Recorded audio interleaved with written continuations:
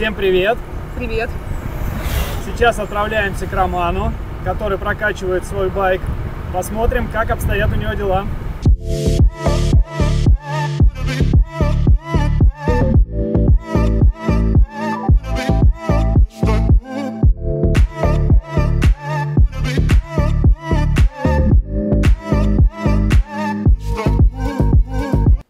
Приехали к Роману. О, Романыч. Здорово! Сто лет вас не видел, не слышал. Как ваши дела? Да, хорошо. Привет, хорошо. привет, привет. Привет, ребята. Смотрите, у нас сегодня вторая часть видео.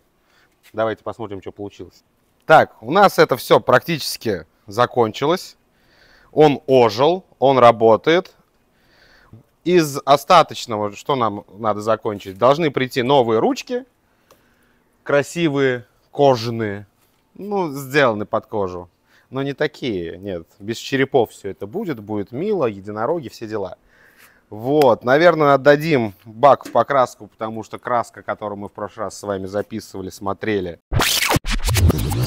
Так, пришла нам краска специальная, как пишет производитель, специальная, идеальная для покраски мотоцикла. Сейчас посмотрим. Я почти уверен, что это будет обычный баллон с краской. На нем даже не будет нарисован мотоцикл. Ну, проверим. Проверим. Интересно. Стоит 2000 рублей. Огромный набор. Слушай, запаковали как хорошо. Лучше бы они мне зеркало так запаковали, когда привозили. Так.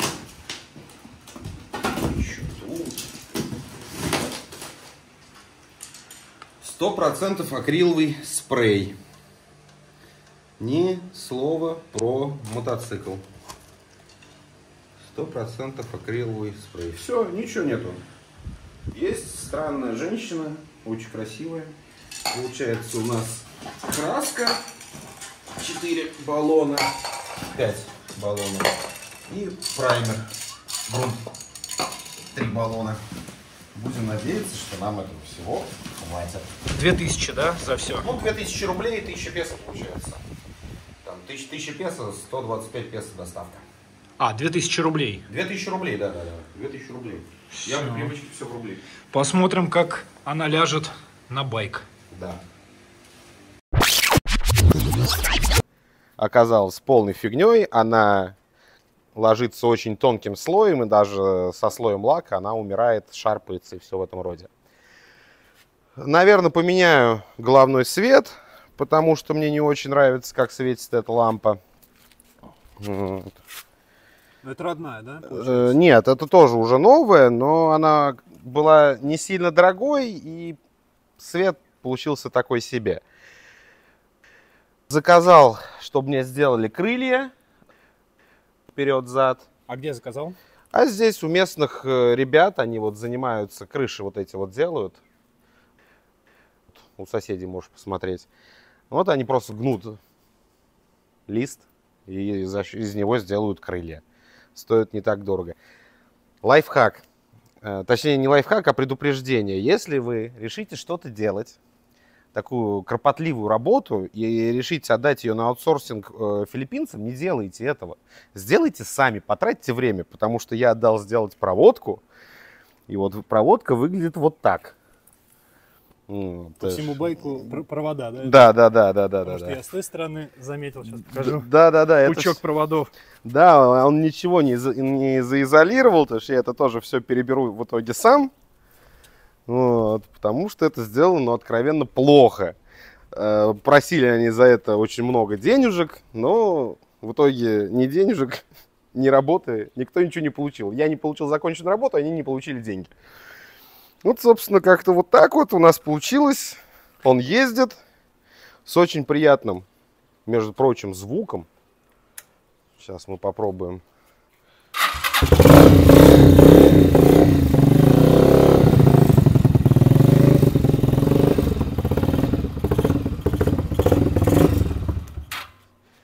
Класс. Вот, вот такой вот у нас получился довольно-таки интеллигентный звук. Соседям не мешают. Я спрашивал, у нас тут соседи тоже русскоговорящие.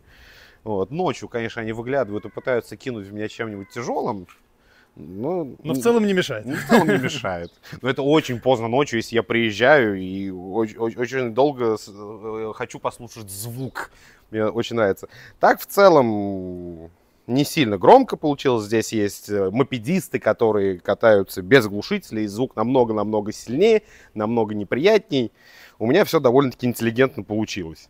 Возможно, там потом мы вварим еще одну сеточку сюда, и звук станет еще ниже. И по приглушеннее чуть-чуть. Собственно, вот так вот. Расскажи про сиденье. Сиденье. Вот мы, когда это все варили, все это делали, немного не угадали с размером. Я перетянул си- сиденье, поехал на обкатку байка и вот себе протер задним колесом. Вот. Ну, тоже сейчас уже все переделали, все стоит э, так, как надо, ничего не цепляет. Вот, наверное, на днях поеду, перетяну еще раз. Будет целое сиденье. Это дермантин, Сколько обошлось перетянуть? Перетянуть сиденье обошлось э, в 300 песо. Э, то бишь, э, прям совсем недорого. Вот, Понятно, если вы захотите сделать себе кожаное, кожаное будет на порядок дороже. Особенно если с каким-нибудь тиснением, со всякой такой штукой. Я не, не сильно заморачиваюсь, поэтому обыч- обычный, самый обычный дермантин, которым можно обить все. Вот как так. Без крыльев тоже не ездите, потому что если вдруг пошел дождь, а в первый день моей поездки пошел дождь, стало очень сильно грязно, э, потому что я, у меня вот так вот была ровная полоска грязи, и на спине ровная полоска грязи. Выглядел я забавно. Но я, когда оно все вы, высохло, выглядело как будто так и надо, как будто это очень красивый дизайнерский рисунок, сделанный самой природой. Вот как-то так. Так, покажешь, как он? в Ездит движении? в движение? Да покажу. Нам не сложно. Оп. Видишь, за- забыли выключить зажигание. Он Сразу уже- аккумулятор, да? Да, потому что еще никак не зарядится.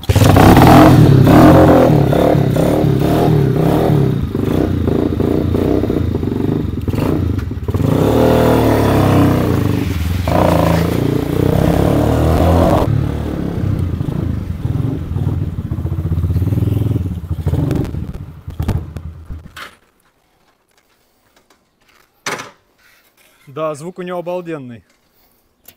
Соглашусь.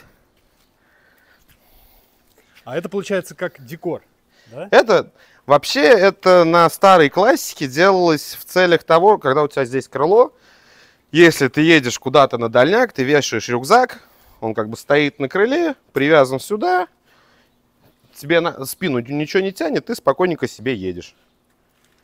Еще как спинка. Ну нет, как спи- с рюкзаком. Ну, с рюкзаком, возможно, как небольшая спинка, но не знаю, мне кажется, будет не сильно удобно.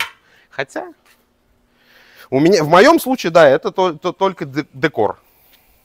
Опасный декор, потому что в случае чего, в случае какого-то инцидента, вот, такая штука Да, опасная. опасная. Ко- Кого-нибудь проткнуть, пропахать машину она может. Вот. Либо, ну, там, э, они разного вида есть. Есть углом, есть прям кругленькие такие. Там уже ка- кто во что гораст, с рисунками, без рисунков. Чего только нету. Супер. Будем следить за прокачкой дальше. Когда придут крылья, Когда придут крылья, ручки. проводка, да, ручки. Да, и покрасится это все. Но оно живое, оно ездит, как бы все. Я уже пользуюсь, в принципе, вовсю, потихоньку, полегоньку. Все равно вылезают какие-то маленькие косяки, которые приходится либо прямо на дороге исправлять, либо уже там доезжать до дома и что-то шаманить дома. Потому что все это собиралось своими руками, с минимальным количеством инструмента. И да, в первый день у меня оторвалась подножка. То есть вот там вид- видите наш колхоз на трех арматуринах. Вот. Одна арматура, вот эта дальняя, отвалилась. Была не очень хорошо приварена. И, собственно, когда переключаешься, она вся уходит вниз. Было очень неудобно. Ну, сейчас вроде выглядит надежно. Ну, ну, сейчас, да, сейчас все. Вот она не- неделю практически стоит. эксплуатируется, вроде пока не отвалился. Класс.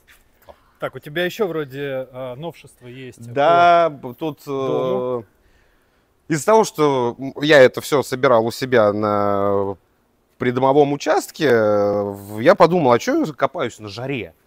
Ну, солнце, сегодня жара ужасная, я вон потею весь. Я решил сделать себе навесики. Вот этот, собственно, мы сварили. Пойдем покажем по- поближе. Вот. Э, здесь все делается легко из-за того, что дом сделан из пеноблока. Мы вбили арматуру просто. К арматуре приварились и вот сделали вот такой вот каркасик. Вот. Можно, конечно, сделать, как у всех остальных соседей, сплошную крышу, вот, железную. Но вот если под нее зайти сейчас, вот сейчас прям ярко светит солнце сегодня, если мне память не изменяет, где-то градусов 35-37, там прям жарко будет. Здесь за счет того, что это сетка, оно продувается, здесь есть тенек, в доме стало намного прохладнее сидеть, потому что эта стена не так сильно греется. У меня там, если помните, рабочее место прямо при входе. Сильно комфортнее стало. А Расскажи по цене, сколько обошлось. О, Сами уголки, получается, навес. так, уголок стоит 470 песо за 6-метровый жгут. Это Вот. вот такой уголок, да? Да, да, да, да, да, вот такой вот уголок. Потому что у нас здесь сколько у нас ушло, там вот еще осталось немножко, но, у- у- грубо говоря, ушло э, 18 метров. Там минус, наверное, вон те полтора, два полтора, нет, ну да, где-то так. Вот, где-то метров 15, наверное, в общей сложности у нас ушло на вот это вот все. Не, во- вообще недорого. И сам навес. Ой, сам навес я заказывал на Лазаде по скидке, по большой. Э, Если не изменяет память, это 2... на- э, Нет, она мне точно не изменяет. Это 2 на 4. Вот у меня их две штуки. Они стоили мне в районе 500 песо. Обе. Э, За две штуки. За Мгм. две. Не каждая. а- Но это была акция, там, купи один, получи два. Вот. То есть на Лазаде бывают такие акции, если вы тут остались, собираетесь оставаться надолго, акции можно мониторить, можно использовать купоны, вот это вот все. Будут нормальные скидки, там бесплатная доставка, вот это все. Вот так вот я повесил, вам их, наверное, не видно, там мелкие-мелкие-мелкие фонарики, вечером это все он работает с помощью солнечной батареи, выходишь, здесь все моргает, все красиво. Мгм. Вот. Осталось, наверное, вот там вот. Вот там вот мы сделаем мебель. И будет вечерняя зона отдыха, когда нет солнышка. Выйти, сесть, попить. Мис- Миско пожарить. Мяско пожарить, чай попить. Может быть, что-то покрепче. Ну, алкоголь зло не пейте. Вот.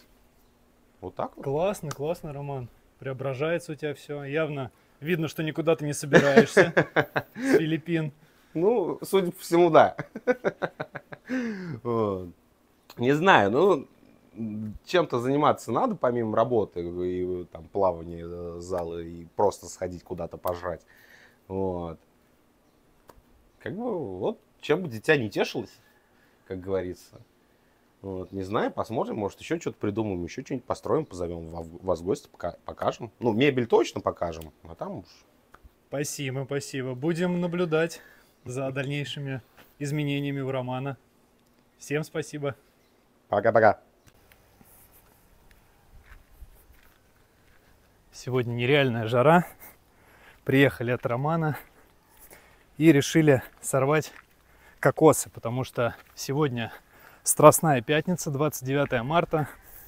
И на Филиппинах все закрыто. Все палатки, все кафешки.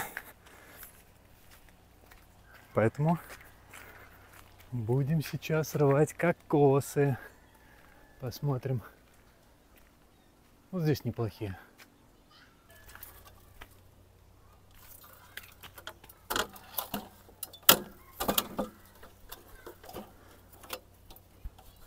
Так.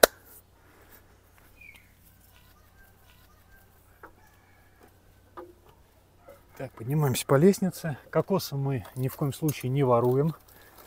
Собственник этого участка сказал, что, ребята, смело берите кокосы и пейте и ешьте их. Так, аккуратненько, чтобы не разбился.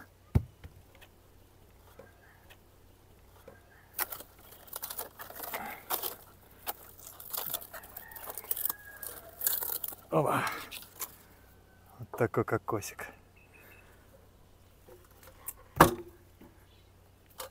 Так. Сорвем штучка 4. Рекомендуем пить их холодными. Поэтому сольем жидкость и уберем в холодильник. И в течение дня пить очень полезно. Все, наша добыча. Пойдем вскрывать. Приступаем к вскрытию кокоса. Ну,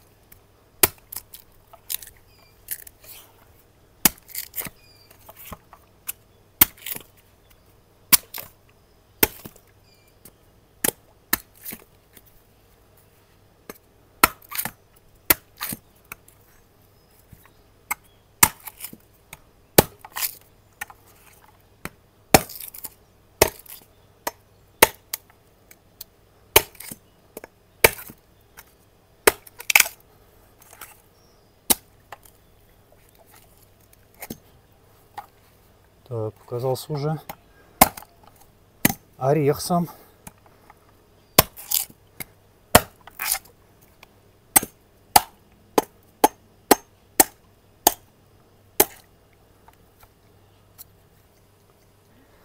Смотрите, уже виднеется мякоть кокоса, поэтому можно открыть ножом и слышно жидкость. Приступаем к вскрытию второго кокоса.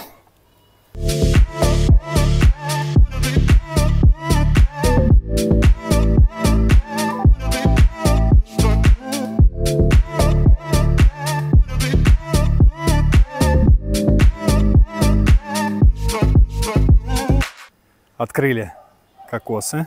Попробуем. М -м -м, то, что нужно в жаркий денек. Еще бы охладить и прям шикарно. Переливаем кокосовое молоко в емкость для блендера.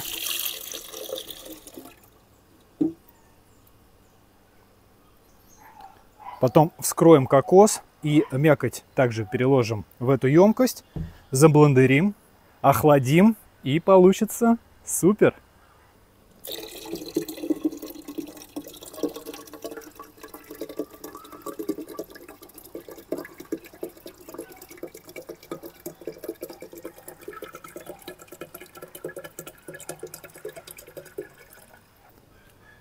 Мякоть отделяется легко. По структуре похожа на желе. Кстати, блендер одно из самых лучших наших приобретений. Так что если вы живете в Азии и до сих пор не купили, то рекомендуем. Приехали поужинать в корейский ресторан. Ресторан азиатской кухни. Вот так он выглядит снаружи. Сейчас посмотрим, чем нас будет удивлять повар данного заведения. Заходим в ресторан. Красивая атмосфера. Много людей. Всегда, когда мы приезжаем куда-либо в отпуск, мы ели краба. А почему-то в этот раз, живя уже полтора года здесь, мы до сих пор так его и не ели. В общем, решили, что нужно исправлять эту ситуацию и приехали сюда. Выбрали мы этот ресторан не случайно, не только потому, что каждый раз, когда мы его проезжаем, он источает приятные запахи, но еще и в связи с тем, что здесь всегда полная загрузка, что говорит о многом. Кстати, нам уже принесли приветственный комплимент от повара. Ждем основные блюда.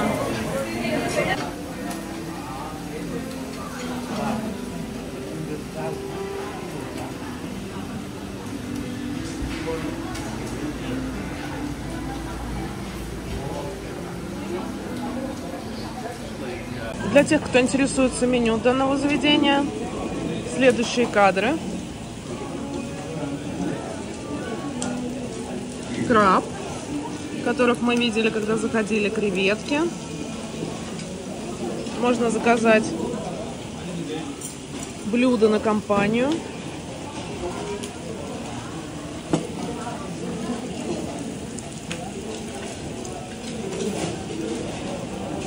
Это то, что едят за соседним столиком.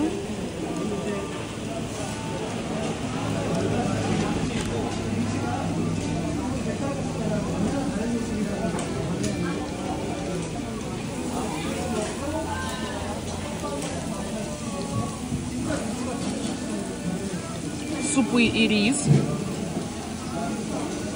На самом деле мы думали, проезжая мимо, что в этом заведении будут не такие демократичные цены,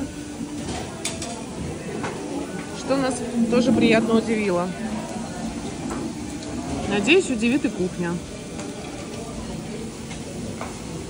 Единственное, что, как мне кажется, минус, учитывая, что это ресторан морепродуктов, то, что здесь в меню нет белого вина. Ну, что имеем. Сережа выбирает краба. Этот, А, этот, этот краб что, его будем есть или 600 возьмем грамм. побольше? 600 грамм. Давай возьмем того, э, который побольше. How many grams, uh? Yeah. Ты уже сам носишь крабов? И сейчас узнаем, сколько побольше краб. На килограмм. Нет, он говорит, вы чуть-чуть побольше краба выбрал, но он сказал, что он э, мясной. Он говорит, лучше вот этого взять. Ну, поверим на слово, потому что здесь постоянно много народу, и я думаю, они уже знают. Я Нам уже принесли первые блюда. Это гребешки под сыром, жареный рис с овощами. Сейчас попробуем.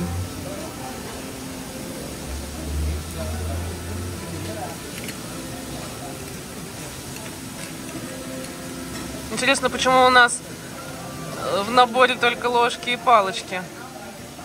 Нет вилок. Но, возможно, можно попросить.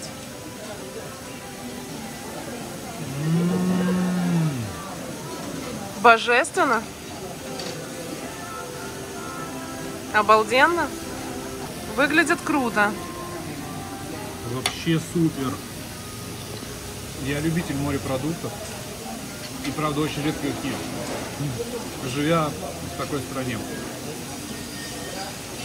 Очень классно. Мне очень понравилось.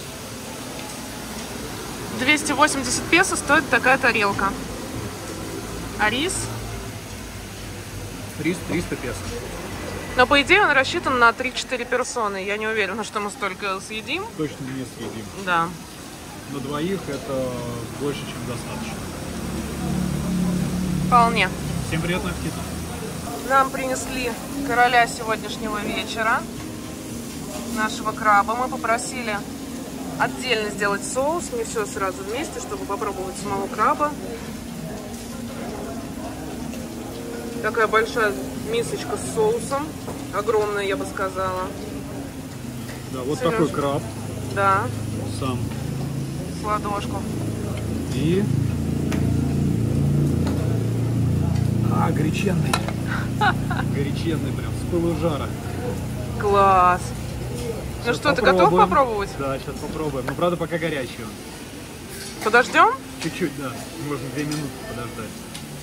Ну что, настало его время? Да, принесли перчатки одноразовые, наборчики для вскрытия панциря. и достать мясо. Попробуем.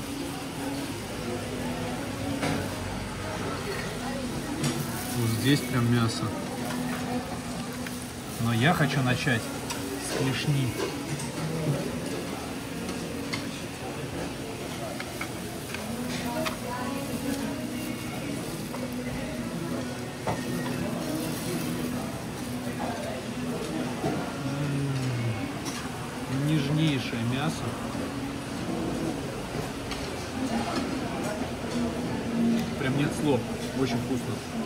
Специями? Нет. Сваренный. Ничего лишнего. Только крабовое мясо. Сейчас попробуем соус.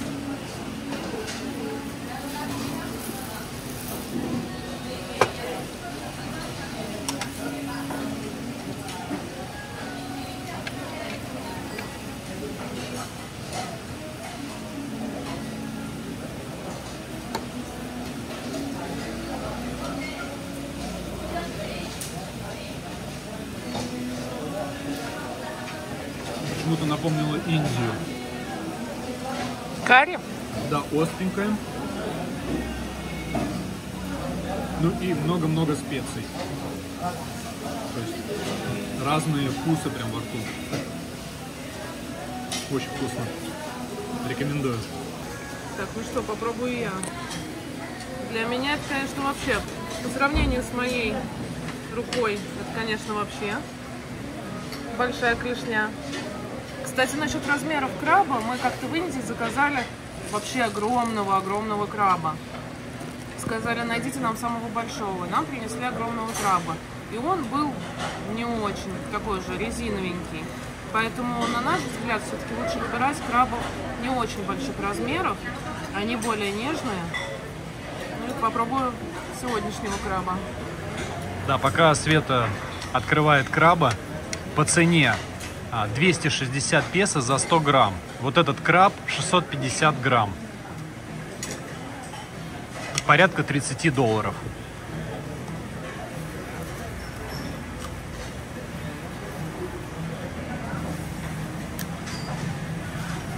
Так, у меня как-то плохо, по-моему, скрыта клешня, надо ее перекусить. Света берет кусачки.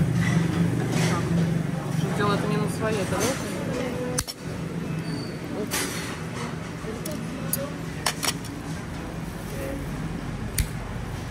Так, ой. У меня получилось. М. Он такой вкусный. Он правда нежнейший. Вот насколько, мне кажется, может быть нежным мясо краба. И, честно говоря, он превзошел мои ожидания. Он действительно очень вкусный, даже без специй. Сейчас я попробую с соусом.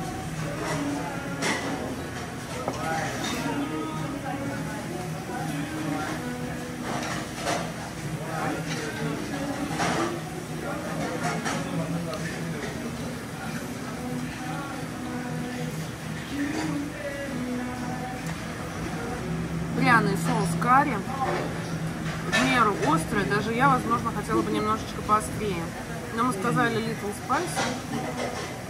И очень вкусный соус. Он подчеркивает вкус краба, действительно очень подходит к нему. Но, как я уже сказала, этот краб вкусен и без соуса. Тут вообще в этом ресторане, вот все, что мы заказали, очень вкусно. Рис с ветчиной, с овощами, с морковкой, с салатом, с яйцом. Очень вкусный, называется жареный рис. Гребешки, комплимент от шеф-повара, все очень вкусно. Желаем всем приятного аппетита, ну а мы продолжим есть. Вы представляете, пока мы едим краба, нам принесли еще один комплимент от шефа. Манго на десерт. В общем, этот ресторан нас продолжает радовать. Удивительно. Возможно, потому что мы все снимаем. Может быть, да. Но тем не менее, Ну, вообще- молодцы. Да, да, Сервис молодцы. хороший. Некоторые могли бы не обратить на это внимание, но они очень стараются. Это радует, это приятно, это круто. Мы закончили свой ужин. Краб нам обошелся а, в 1690 песо, это около 30 долларов. Весь ужин нам обошелся в 50 долларов. Мы очень довольны, все было очень вкусно. Да, на самом деле я могу только подтвердить твои слова. Все, начиная от комплимента шеф-повара, который нам принесли в начале, и до манго, было очень вкусно. Манго спелейший, раз уж я заговорила о манго. Вся кухня просто потрясающая, краб, гребешки.